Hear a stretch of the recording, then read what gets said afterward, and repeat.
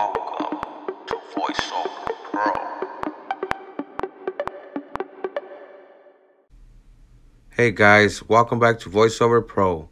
In today's video, we're going over how to offload your apps and save some more memory. I have a previous video on how to offload your photos to save and conserve. And uh, that's in my channel.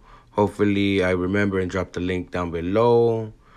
So for the new folks uh, tuning in, like and subscribe. You know, share the videos if you like people to know what is voiceover and how us as Vigilant people uh, navigate these devices. Yeah, but let's jump into it. First of all, um, we headed to settings. Settings. Double.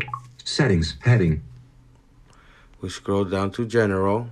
Notif sounds and haptics. Do not disturb. Screen time. But general button. Selected. Settings. Back button. Once in general, we head to access to um to storage Accessibility. iPhone storage button. and double tap that.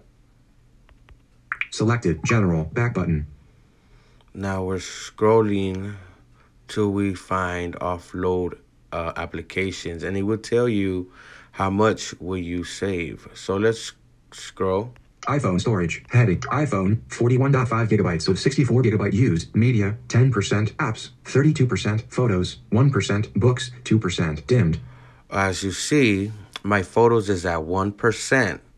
Before I didn't I I I did not offload them, you know. So I had 20%. My apps has grown grown exponentially. So, here we go. Let's continue scrolling. Recommendations.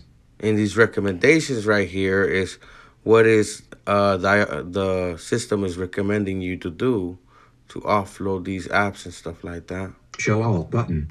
Offload unused apps off button. Dub save 3.5 gigabytes. Automatically offload unused apps when you're low on storage. Your documents and data will be saved.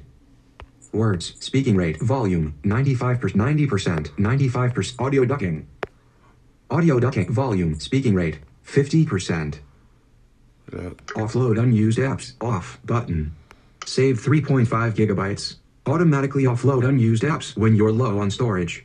Your documents and data will be saved. and there you go, guys. Um, that tells you and it indicates to you how much you're gonna save. So let's go turn it on. Let's swipe to the left. Offload unused apps off button. Double tap offload unused apps. Offload unused apps is enabled. You can change this preference in iTunes and App Store in settings.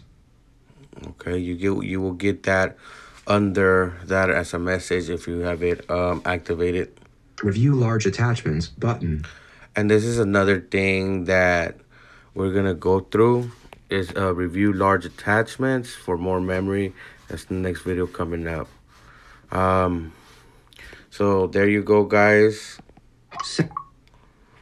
How to offload your apps and conserve space. You know, and I've been um a little late on my videos because I got a couple of other things I am doing and I got other channels too. But I am trying to be consistent and thank you for the new subscribers and the guy and you guys hanging in there, you know, with me.